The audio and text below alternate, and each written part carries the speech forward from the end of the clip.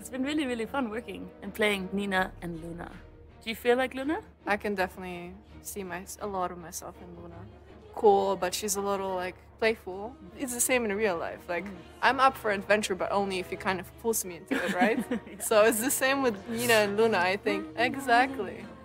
So I feel so connected to the character of Nina, much in the similar way, like a young girl, just like discovering the world and just like really enjoying herself. It's feel like Com- it's so based on our Yeah. friendship, so it's like it doesn't I even mean, that's feel like we're we're working. here yeah, way, right? Yeah. us together really pulls out that kind of like playfulness. It's definitely a feminine thing to have friendship like this. Yeah. How would you describe the the relationship between uh, Nina and Luna? How do you think they met? I'm imagining they met pretty much the same way we did.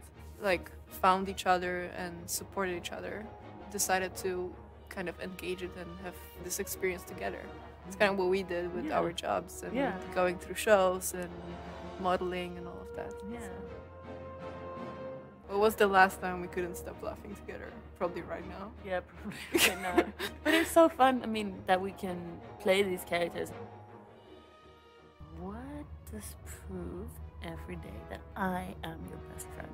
It's just whenever I see you, it's like mm. there's no question like, oh, I haven't seen you in a while. It's like, Yeah. oh, your best friend next to you. It does. Us together is definitely stronger than us separately. Is it love? It's love. It's definitely love. I mean, isn't friendship love in a way? I think it is. I think so. so we laughed all day today, guys. So Yeah. this is just we just continue. And then the story continues.